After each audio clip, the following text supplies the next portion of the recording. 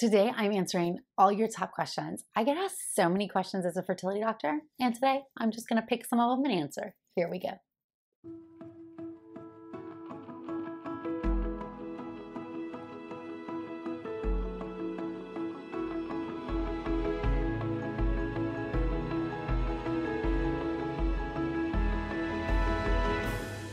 If you follow me over on Instagram at Natalie Crawford MD, I asked what do you want to know? Ask me anything. And today I'm going over some of the top questions. We're just going to dive in and get into it. Can you feel ovulation? If so, is it normal? Can you feel ovulation? And if so, is it normal? I love this one. So, not all women can feel ovulation, but some can. If you can, it is not a bad sign. It actually has a name. It's called Mittelschmerz, really long word, and it is German. It means middle of the cycle, so mid cycle. It is your mid cycle pain. Ovulation happens in the middle of your cycle. Fun fact is that many women think that your ovaries alternate which side you ovulate from, and that's not true. It's totally random. And also, if you only have one ovary because one was removed, that new, that ovary will then ovulate every month. So you'll still have monthly periods even if you have only one ovary. When you see a low morphology score, do you always jump into IVF? Okay, so real quick, morphology is the shape of the sperm. So what this person is talking about is when you have a couple who's been trying to get pregnant, male partner gets a semen analysis and has a low morphology. So that means the shape of the sperm, there's more abnormal sperm than normal. Most sperm are abnormal. And so sperm can be, sperm is so weird. But so if you have a low morphology score, it does mean that you have a much lower chance of getting pregnant per month that is only semi-corrected by doing IUI, which is intrauterine insemination, or by doing lifestyle changes. So there are some things that make sperm bad, like smoking cigarettes, marijuana, likely high sugar diets. Heat is a big one. And so by avoiding some of those exposures, maybe it can improve. Now, abnormally shaped sperm have been associated with infertility and higher rates of miscarriage and aneuploidy. So it's definitely something that as a fertility doctor, I progress to more aggressive treatment very often, but it depends on the full picture. How old is the woman? How many eggs does she have left? How many kids do you want?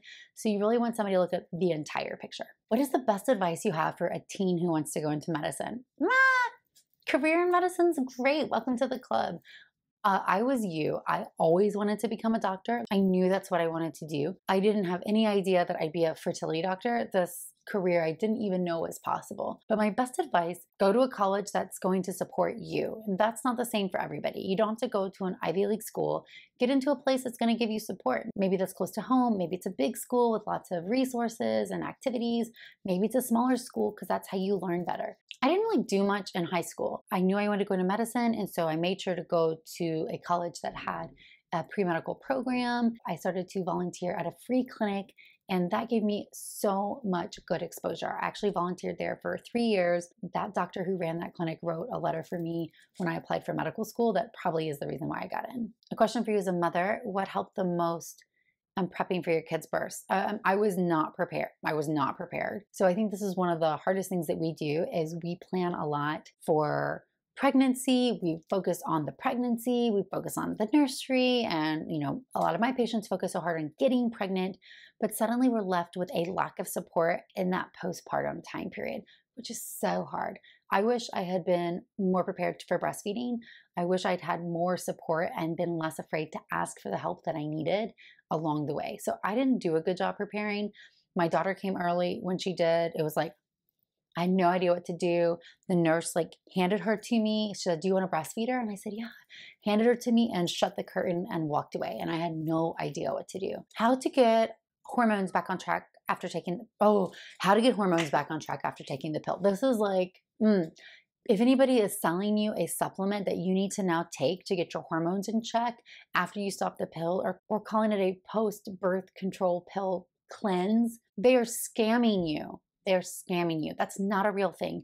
You don't need that. So please stop, okay? Birth control pills come out of our system very fast. That's why you have to take a pill around the same time every day for it to be in perfect use in preventing a pregnancy. Therefore, your hormones are going to rapidly return to normal. But a post birth control pill cleanse doesn't exist. What other career would you choose if being a fertility doctor wasn't an option?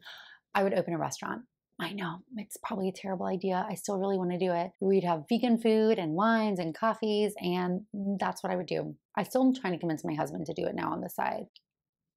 What can cause a high AMH level? Is it always a bad thing? It's not always a bad thing. A high AMH means that there are a lot of eggs that have come out of the vault. If your periods are regular, then it's not a worry at all.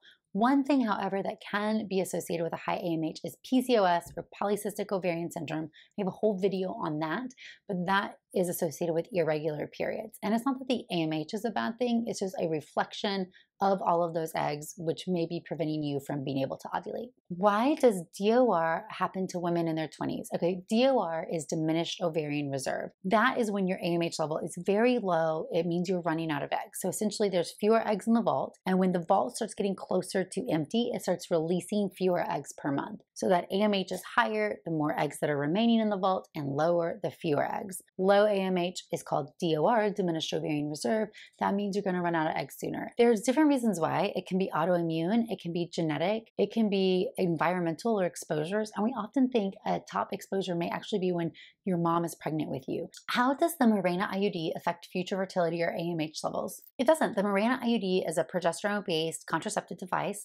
It is a little device that goes in the uterus that can last for five plus years, but it does not impact your future fertility. It can be removed and you can start trying immediately. The one thing to think about is that if you have amenorrhea with the Mirena IUD or any IUD, that means absent periods. It's because the constant progesterone exposure thins out the lining of the uterus. You probably want to remove your IUD about six months before you're ready to start trying to get pregnant. That way, your lining has time to build back up with further ovulations. Make sure you use condoms if you're not ready to get pregnant during that time. How do you have confidence after failing a board exam and not letting it affect you? I'm lucky that I've not been in this scenario, even though I know people who have, who have been fabulous doctors. And it has nothing to do with their ability to take care of patients. It's usually just due to a test taking situation. I think the most important thing you have to do is know that it's not you, that you know the information, and then you need to set yourself up for success in the future.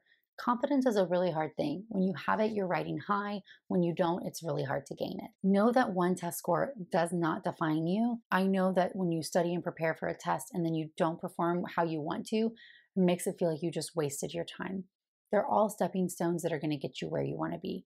Really take the time to understand how you learn best and set yourself up for success in the future by making a study plan, taking time off of work. When I took my last test, which was an oral exam for reproductive endocrinology, it's a terrible test where you have to go sit there in rooms with board examiners. You just submit all your cases for a year. They look through them and they tell you, oh, I probably have my case log. Let me get it.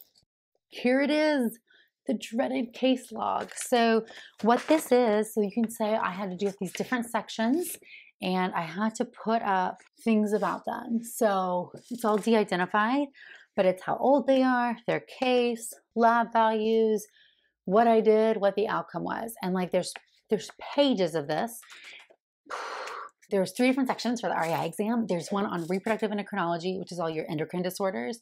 There's one on infertility and reproductive surgery, which you submit two case lists for. And then there's your thesis. Half of my fellowship was research. I did a thesis.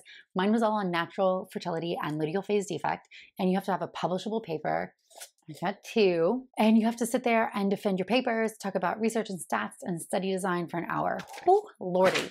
But I spent forever studying for that. And so I actually went away the week before the test and left my hubby, my kids, went up and lived with my grandma in Dallas for a week. Taking that time off of work was really helpful for me just to get out of the patient care mentality and being able to focus in on that exam, which I knew was so hard. Thank you guys so much. This is probably the most fun episode I've had to record. So I hope you like it because I'd love to do it again. Feel free to give me a thumbs up and leave in the comments, yes, you want more, and you can write out a comment. I'll pull the next set of questions from the comments here, and then I'll do another Instagram poll again. As always, you can follow me on Instagram at Natalie Crawford MD, or you can listen to the As a Woman podcast for more in depth episodes on fertility. If you like the YouTube channel, please subscribe. That just helps more people see our message and spread fertility information to all. Thank you.